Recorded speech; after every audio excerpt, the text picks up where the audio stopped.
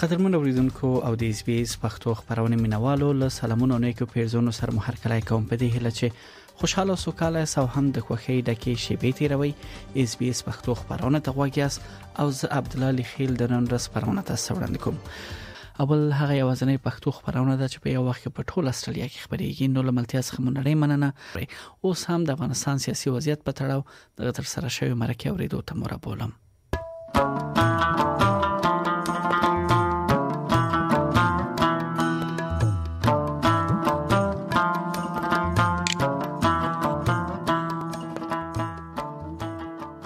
ښاغلی ډاکټر صاحب نور احمد خالدي بیا هم نړۍ مننه چې لیز بیس پښتو خبرونه سره تاسو خبرې کوي تاسو سره مې شوم السلام علیکم سلامونه محترم علی خیل صاحب تاسو نه مننه چې ما ته مو بلنه ورکړي شالم چې تاسو په پروګرام کې موجود یم او اوریدونکو ته هم سلامونه وړاندې کوم علیکم سلام ډیر زیات مننه خلیص محترم تاسو په دې ورځو کې ډیر زیات رسنیو کې هم را سرګندېږي او ډیر ښه معلومات تاسو البته د افغانستان په سیاسي وضعیت باندې شریکوي ولدا مو غوښتل چې ستاسو له خولې واورو چې افغانستان دا مهال په کوم داسې یو سیاسي وضعیت کې واقع دی نړۍ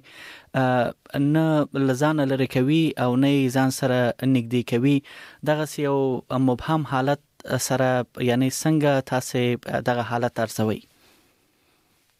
افغانستان په تاریخ کې په دا اخري تاریخ کې او یا کال او پیزا او یا کالونه را پدې وو دا حالت چې پیښ شوی دی اوس چې موجود دی دا د خلکو د حقوقو د د وګړو د انساني حقوقو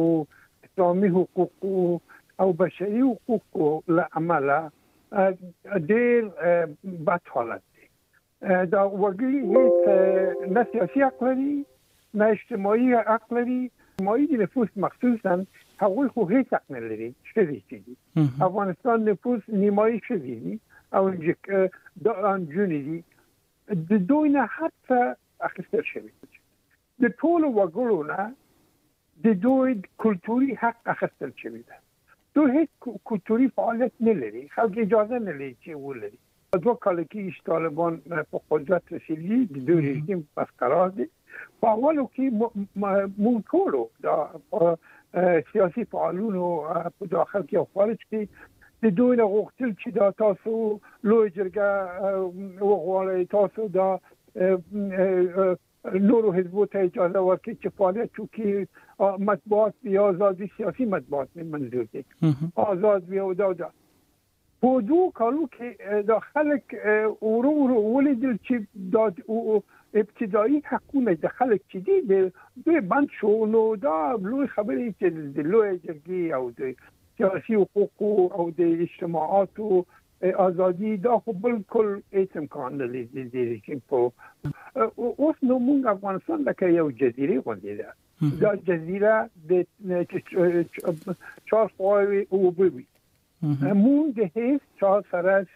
سیاسي ارتباط نه لرو مونږ اقتصادي ارتباطونه شته دي مګر هغه هم ځکه چې د مونږ بانکونه پرسنل نه پیژندل کیږي بین المللي اصولو په اساس موږ نشو کولای چې په یو یو سمه یو د نننی نړۍ د اصولو په اساس اقتصادي اړیکې ټینګ کړو زموږ حتی اقتصادي اړیکې د د نورو د ګاونډیو سره د یو ابتدایي اقتصاد په اساس کېږي مونږ تاجر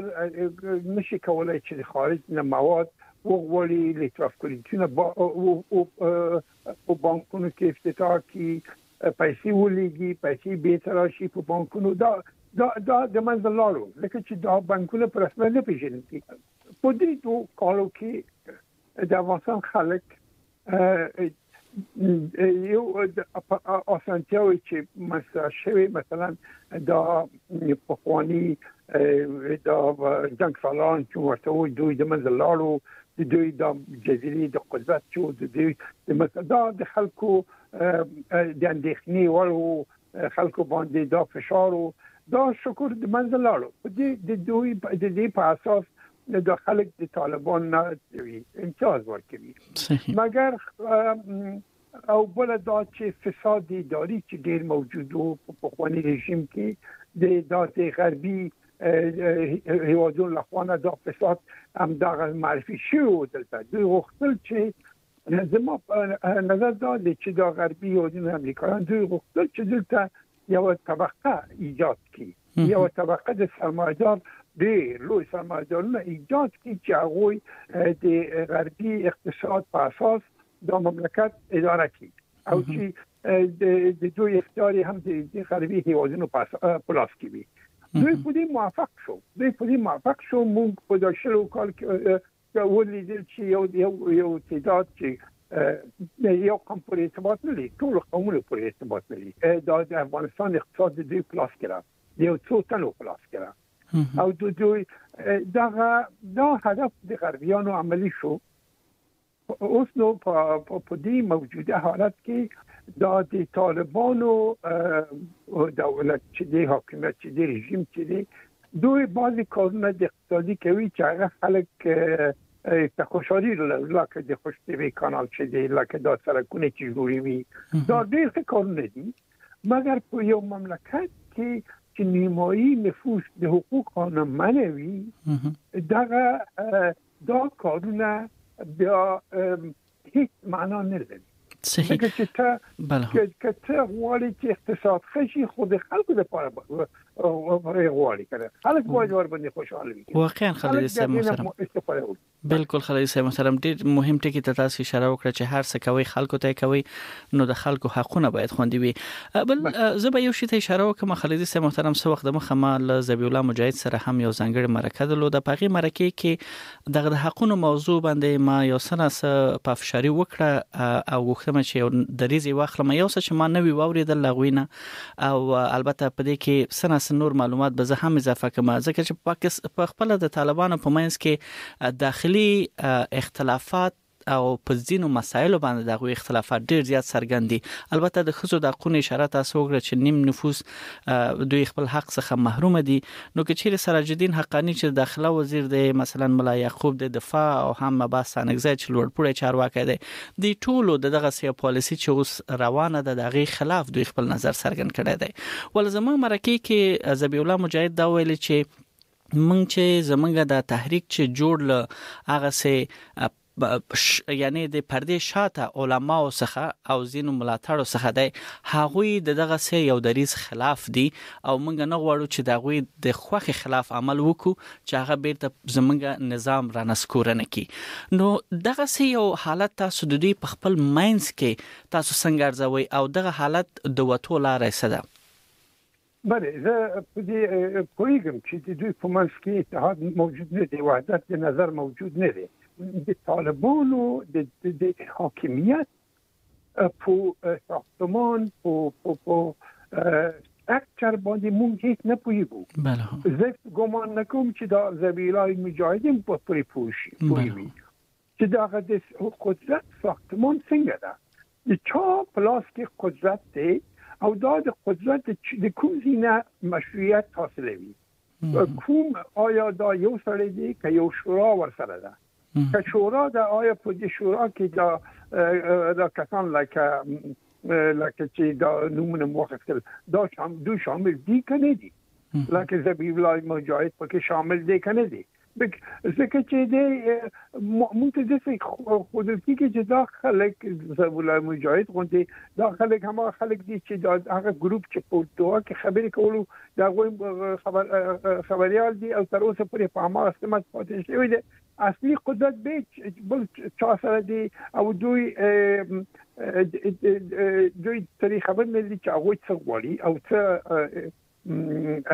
پلانونه لري موږ نه پوهیږو چې دغه د طالبان خو دوی خو حتی د افغانستان د خلکو د یعنی یو اننی روح چې دغه جرګه ده کنه دې ته هم دوی هیڅ اهمیت نه ورکوي بله بیرته خلیل صاحب محترم ډیرو بخیر چې تاسو خبره مقطع کړل تاسو بیرته هم دغه د ډیر یو مبهم حالت او بیرته تاسو هم دغه سوال راګرځي چې ک دوی دا اجازه نه ورکوي نو مانا دا ده چې د قدرت هغه شاته چې جوګی چا په لاس کې دی هغه معلوم نه دی نو همغه ویره لوجه نه کېدای شي دغه سه دوی هیڅ دې زمينه برابر نه کی تر څو چې دوی خپل دغه ساختار روښانه نه کی خالد سه محترم زبا بیرته هم دغه مسلې ته البته تاسو ډیر ښه ټکو ته پکې اشاره وکړه دغسې یو حالت سره چې افغان ملت مخ دی او د افغان ملت تاسو پنځوس فیصده نفوس ته اشاره وکړه د هغې تر څنګ تاسو یعنې حد اقل یو یو دېرش نه تر څلوېښت فیصده نور نفوس هم هغه ته ناراضه برېښي البته په چې ساختار یا برخه د حکومت نه دي د دوی په خلاف باندې تر اوسه پورې ولې داسې یو منظم تحریک نه د افغانستان دننه او یا بیرون څخه شروع دی تر څو دوی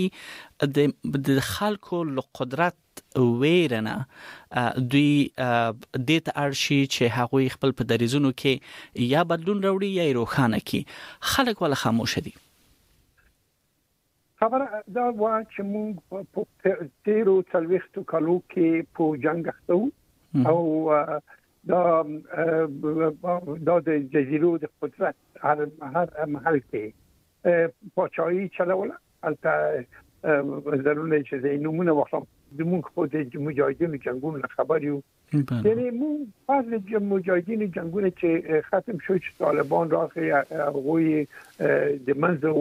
ویور خلک خوشاله پام دیو چې د حالت د منځ لاړو مګر دوی هغه وخت هم چې حکومت تشکیل کې یو یو یو بی استراکچر حکومت وو یو حکومت وو چې تر اخره پورې په پیزو کالو کې په اول پویدو چې دوی د قدرت استراکچر څنګه دی آیا شورا د په شورا کې کوم کسان موجود دي رپراس کې کوم دا شخص چې مولا عمر شو څنګه خپل د خود د کوم د چان اخلي چې مشروعیت دې چان حاصل کړي او اوس هم هماغه موضوع روانه ده موضوع دا ده چې اوس خلک خوشاله دي چې آرامش راغلي دي بیا آرامش راغلي دي جنگ نشته مونږ بیا د اونه ولي چې پس د دې نه طالبان راغلي په زرهاو زرهاو شلهاو زرو دا کسان چې په دولت کې وو یا دولت سره ارتباط اړیکې درلودې د په ان جی او کې وو په ګروپ په دا مدني ګروپونو کې دا ټول ووتل د افغانستان وتلي دي په افغانستان د افغانستان او داګه مخکې دا نور روشن فکران وتلي دي اوس نو د دې خاطر یو زمان په کار دی چې دا خلک یو دا یعنی یو گذری دا موقتی زمان دی اوس چې طالبانو دغه ډېر ښه ګټه اخلي د خپل ځان په مفاد کې مګر دا دوام نه مودي مګر فراموش ونه کړو چې پښتانه د پښتون انټلیکچوال پښتون روشن فکر کسان د قدرت نه باید مونږ تیروتنه ونکو تاسو ولیدل چې د چې دا کرزی چې قدرت راغی په هغه وخت کې ټول قدرت شمالي تل پاتې په لاس کې وو مګر په شلو کالو کې مونږ ولید چې په تدریج سره پښتانه روشن فکران بیرته د قدرت په لاس کې واخیسته څلور انتخاباتو کې دوی وګټل نو څنګه په په آزاد چې خلکو ته حق ورکړل شو دوی وکړل او په سیاست کې داخل شو په نظام کې او په عسکري کې په هر کې اوس هم دی زما امید پښتانه د روشنفکرانو باندې ده چې دغه طالبان هم چې دي دوی په منځ کې دا ناراضي کسان چې دي مون به ورځ ونی ووینو په نږدې وخت می سو کاله به وخت ونی چې زما امید دا دی او زه په دې باور لرم چې پښتانه روشن فکران به دغه نظام د داخل نه تغییر ورکړي ډیره مننه خالد صاحب محترم زکه چې واقعا چې ډیره ساحه پراخه ده او ډیر زیات معلومات تاسو هم د شریکوي ول دغه ورسې پښتنه به زما وی او غواړم چې لاند جواب له تاسو نه واخلم هغه دا د خالد صاحب محترم چې یو خدای دا چې په نړۍ کې زین نظامونه کې چیرې افریقایي ملکونو کې یا جنوبي امریکا او ګورو یا زمونږ گاونډي هوا چې اخوندي نظام پکې حاکم دی ځینی وختونه نړی قدرتونه د خپل منافعو په نظر کې نیولو سره له هغوی سره تعامل کوي او هغوی سره نږدې کیږي او هغوی په هغه شرایطو قبلوي نو تاسو فکر کوئ چې افغانستان چې په داسې موقعیت کې قرار لري چې دوه بلاکونو مینس کې البته دای دی چې د خو د چین او د روسي پکې هم دلچسپي ده چې ورسره وړاندې شي او اخوا غرب دی آیا افغانستان په همدغه اوسني شرایطو به نړۍ به تعامل ورسره وکړي او دوی به یعنی ومنل شي په همدغه شرایطو زما تشویش دا دی چې د امریکایان چې دی او اروپایان امریکا ته ګوري دوی د دې نه د دې د دال نه چې بل ته چین او روسیه او ایران افغانستان کې ډېر قدرت ولري سي دوی به طالبان سره یو رابطه جوړ جوړ سره راشي کې لکه چې دا موږ ګورو دا د تیر دوه کالون کې اروپایان امریکایان یو اشاریه درې میلیارډ ډالر طالبان دولت ته ورکړي او دا خپل خی چې د امریکایان او طالبان دي سره بعضي قراردادونه لري بعضي توافقونه لري چې خلکو ته یې نه دی ویل شي دوی پوهیږي چې امریکایان د طالبان سره په یو په یو شرایط کې ځان سره ونه ساتي دوی په ډېر اسانه توګه چین او روسیې خواته صحیح خالد سي محترم که یو څه غواړم چې تاسو په اضافه کې ډیر مهم ټکی ته تاسو اشاره وکړه ځکه چې اوس دلته د دوو بلاکو موضوع ده کې چیرې امریکایان لا ډیر نږدې شي طالبانو سره یا طالبانو حکومت سره د خپل د ګټو په لمخه دلته دا بل بلاک چې پاتې کېږي او څنګ کې زموږ ګاونډ هېواد ایران دی، ایا دا به په افغانستان کې دننه بیا ناامنیو ته دوی لار هواره نه کړي؟ نو تاسو یعنې په دغسې یو دریځ کې چې هر طرف ته افغانستان حکومت یا اوسنی نظام چې هغوی نږدې کېږي، د بل طرف عکس العمل به یې څه وي؟ زه فکر کوم چې طالبانو یو تعادل برقراروي دلته. دوی هم په دې پوه شوي دي. دوی یو تعادل د دوی د شرق او غرب په منځ کې یو تعادل سیاست ته ادامه ورکوي د دوی په ګټه نه ده چې یو خوا نه پریږدي او بل خوا ته لاړ شي زه فکر کوم چې هغه د ظاهر شاه د دوران خارجي سیاست چې مطرح هماغه بیا بیرته طالبانو به هم هماغه ته ادامه ورکړي که تاسو په یاد وي په د ځان شاپ وخت کې که د کابل پانتین امریکایان لخوانه جوړ شو پولیټکنیک کابل د روسان لخوانه جوړ که سرک د کابل او قندهار د امریکایان لخوانه جوړ شو سرک د قندهار تر هرات پورې د روسان لخوانه جوړ شو د هم کم د دهلمند پروژه که د امریکایان لخوانه شو د ننګرهار پروژه د روسان لخوانه شو دغه زه فکر کوم چې طالبان هم په دې پوه شوي دي چې دغه اوس د دوی په ګټه چې هم دغه سیاست ته دوام ورکړي او د دې او دا معنا دا لري چې ضرور نه دي چې دوی لا چې دلته سفارتونه اوپن کړي د یو بعض قنصلګری به اوپن کړي چې د دوی منافع وساتي بس ځکه چې همدا کافي دی د اوبو ته صحیح نړۍ مننه خغلی خالدی سه محترم ډیر زیات مهم معلومات تاسو موږ سره شریک په دې هیله د اوریدونکو د پام وړ هم دا ګرځیدل وي تاسو خبر از غواړم خې چاره ډیر مننه